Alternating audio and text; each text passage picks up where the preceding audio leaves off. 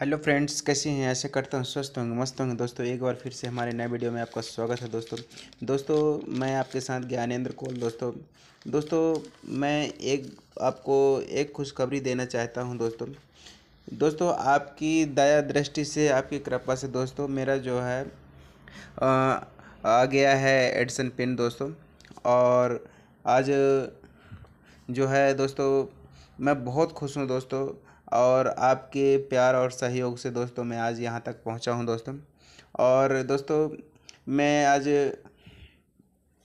आपको इतना बता नहीं सकता दोस्तों कि इतना खुश हूँ कि मैं आपका आशी, जो है, इस आशीर्वाद को दोस्तों मैं कैसे चुका पाऊँगा दोस्तों। तो दोस्तों, अगर दोस्तों चैनल में नए हैं दोस्तों तो चैनल को सब्सक्राइब कर लीजिएगा दोस्तों। वीडियो को अच्छी लगे तो लाइक करना, शेयर करना दोस्तों। भी मनरेगा के तहत में जो बदलाव किए हैं दोस्तों, एक बड़ा अपडेट सामने निकल कर के आ रहा है दोस्तों। जैसे कि हम लोग जो है मनरेगा का कार्य जो है दोस्तों, सुबह मॉर्निंग टाइम जो लगाते हैं दोस्तों online N M M S app के माध्यम से। तो दोस्तों, इसमें दोस्तों नरेगा मोबाइल मॉनिटरिंग सिस्टम में एक बड़ा बदलाव होने जा रहा है, जो कि सरकार जो है फर्जी जो अटेंडेंस होती है। तो दोस्तों, उसके विषय में सरकार ने बहुत बड़ा बदलाव किया है। तो इसमें दोस्तों, आइए आज विस्तार से समझे दोस्तों सरकार ने कैसे इसको जो है बदलाव कर रही है दोस्तों? तो दोस्तों, आप जानते ही हैं कि ज़िले में मनरेगा की उपस्थिति के नाम पर धांधली को रोकने के लिए सरकार ने ऑनलाइन मनरेगा के पारदेश पारदर्शिता को ए, के लिए मजदूरों की हाजिरी के तंत्र में व्यापक बदलाव होने जा रहा है। केंद्रीय ग्रामीण विकास मंत्रालय की ओर से मंजूर चेहरे के ज़रिए हाजिरी लगाने की जो है व्यवस्था जल्द ही शुरू होने वाली है दोस्तों। दोस्तों जो है जो लोग जैसे कि मॉर्निंग टाइम जो लगाते हैं, हाजिरी ऑनलाइन लगाते हैं तो अब जो है इस तरह का अब ऐसे खुल कर के आ रहा है सामने कि सभी ज़िलों में, सभी राज्यों में ये शुरू होने वाली है एक जनवरी से।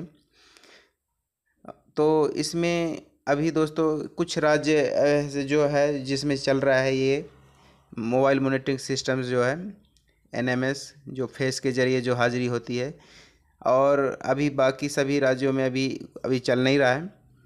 तो दोस्तों, मैं बताऊँगा कि कौन से राज्यों में आपको ये अभी चल रहा है दोस्तों। तो दोस्तों, महात्मा गांधी राष्ट्रीय रोज़गार गारंटी अधिनियम मनरेगा के तहत होने वाले कार्यों में पंचायत स्तर पर कई प्रकार की धांधलियाँ सामने आ रही हैं। आप देख रहे हैं कि आए दिन उसमें कई प्रकार की इसमें मनरेगा के तहत धांधलियाँ हो रही हैं। तो बिना कार्य किए, जैसे कि मैं आपको बता देता हूँ, जैसे कि बिना कार्य किए हाजिरी लगाकर पंचायत के लोगों के साथ जो है, मिली भगत के साथ भुगतान का प्राप्त कर लेना। और जैसे कि पुराने काम जैसे हैं तो पुराने कामों को जो है, जो नए सिरे से जो है दिखा देना। और मज़दूरों के पुराने फ़ोटो को ऐप पर अपलोड करना। ये जो है इस तरह की जो हो रही हैं, गड़बड़, या कि धांधली बोल सकते हैं। तो इस तरह के रोकने के लिए सरकार ने जो है नए कदम उठाए हैं। और इन सभी धांधलियों पर रोक लगाने की और मनरेगा को ज़्यादा से ज़्यादा जो है ना पारदर्शिता बनाने की उद्देश्य से मज़दूरों की हाजिरी के तंत्र में परिवर्तन करने का विचार कर रहे हैं। इसके तहत जल्द ही जो है मजदूरी, मज़दूरों की हाज़िरी जो है, उनके चेहरे के साथ जो है चेहरे के साथ के, साथ जो है आपका जो चेहरे के माध्यम से मोबाइल ऐप में लगेगी। अभी मंत्रालय ने एसओपी तैयार कर रहा है और ये जो है अंतिम चरण में चल रहा है। जैसे ही एसओपी तैयार हो जाएगी, उसको जो है सभी राज्यों में साझा कर दिया जाएगा। इसके बाद देश भर में जो है ना चेहरे में के ज़रिए हाजिरी लगाने की काम शुरू हो जाएगी।